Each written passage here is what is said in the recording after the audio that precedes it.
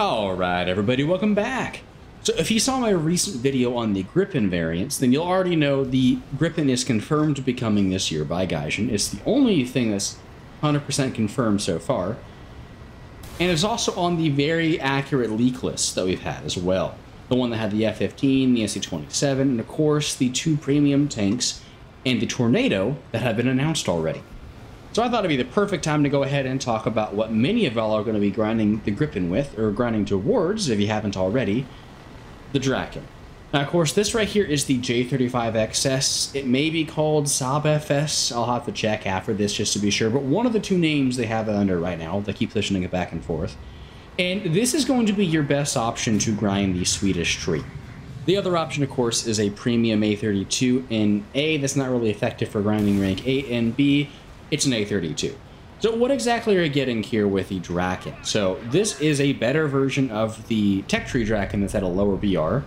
Uh, this was made for export. It's a Finnish version, and there's quite a few things. So to start off with, flight performance-wise, I'm going to be honest with you, I cannot stand the way this thing flies now. So shortly after Apex, I used to love this, you know, the Draken, by the way. I used to love the way it flew. But shortly after Apex, Gaijin went ahead and changed the flight model to make it more friendly to beginners, I guess is most likely what was going on. And it actually compresses really hard at speeds, like above like 900 kilometers an hour now. Like you're sitting there, you're pulling 9, maybe 10 Gs most of the time. It does not feel like a Delta Wing at those higher speeds. Now, once you drop below that, you still have all the massive speed bleed issues that you have in the normal Delta Wing without that incredible pull that the Draken used to have. So you have a plane that compresses and then loses all of its top speed with not really much in between. Now, of course, if you do get on somebody's six, they're not going to be able to shake you. The problem is that once you're on their six, this thing doesn't have the nasty thrust to weight ratio that something like the Kfir has, for example. So if they just get you into sustained turn, you are going to lose all of your speed and you're going to fall out of the air just because your thrust to weight ratio really, really isn't that good. Now, it's not bad by any means, it's just nowhere near something like the Kfir Canard, and it's not enough to make up for that loss of speed. Especially because you have packs of F5s and other planes that actually have really good energy retention swarming you. You are, of course, still faster than the F5s at least, but not by a massive amount, and your acceleration above Mach leaves a little bit to be desired. Now, what you do get in exchange for this is actually a really good missile kit for the BR. For 10.7, 6 AIM-9Ps is not bad at all. Of course, these are RB-24Js, that's just the AIM-9P3, so just keep that in mind. These missiles are rear aspect only. They have okay range for the battle rating. Of course, it honestly really sucks at top tier, but at 10.7, you're fighting a lot of subsonics or barely supersonic planes still, and you're not really going to have many issues with these missiles. And six of them is more than enough for pretty much every engagement. They can, of course, radar an IRST slave, and by the way, you do actually get an IRST. I would highly recommend using that. And these are going to be how you get most of your kills, to be honest. And that's because your gun is going to be very, very difficult to get used to. So we've got a few things here that are going against the Draken's gun. First of all, yes, you only get one. Unlike the Tech Tree one, which gets two, one on each side, you only get one on the right wing. And although this may not be a concern for a lot of y'all, for me personally, I have a very difficult time aiming lopsided guns like this. I like having a gun on both sides of the aircraft, and you're always having to compensate for this. So if you are going to be shooting at somebody, like in a head-on, for example, I would actually recommend going ahead and rolling left or right to go ahead and get yourself vertical, just so you have an easier time aiming, just like I'm doing right here with this Mirage F1C. Of course, this won't solve all your problems because the gun also doesn't have tracers on literally any of its bullets.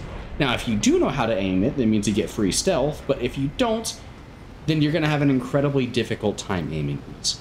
Uh, I'd recommend going into like custom battles or like the mission editor, for example, to get used to them but in the meantime, just know these have, as far as I'm aware, identical ballistics to the Defa or the ADEN, which is why I don't have as big of an issue aiming them personally. It's just the placement that really gets to me. You do at least get more trigger time than the Tech Tree Draken, because even though they only have one gun, you get more rounds per gun. It's still not an amazing amount, and you are going to have to watch your spraying, because I can tell you I've run out of ammo on this thing a lot. The akan was also affected by that gun damage bug that's going on that has been affecting a lot of guns. Uh, Gaijin is aware of and working on it. They said that apparently this time what's going on is it's not every gun that has the issue, unlike, you know, when Real Shatter first came. It's only certain guns. So they're having to figure out which guns are affected one by one and fix them. So I'm hoping they're going to be fixing the guns, you know, next patch. Because I'd like to have another patch where my guns actually do damage. But we'll have to see. In the meantime, though, the akan was affected but it is still less effective than a lot of other guns like the American 20s, for example, or the GSh-23. You will be getting overall fewer hits and crits than, you know, for example, the GSh-23, but I still wouldn't be that reliant on it because there's been quite a few times where I bleed all of my speed.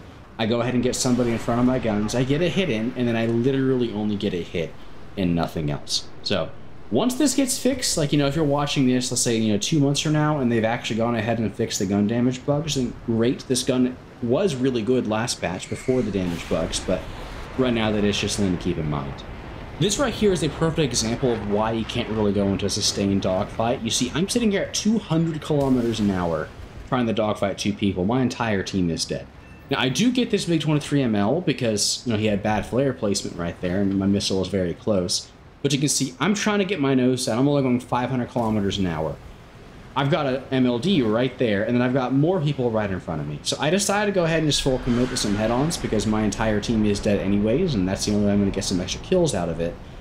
But this is not a carry plane. This is not a plane that you can sit there and dogfight the entire enemy team in. You know, like an F5, for example. It just doesn't have the energy retention and the power to be able to do so.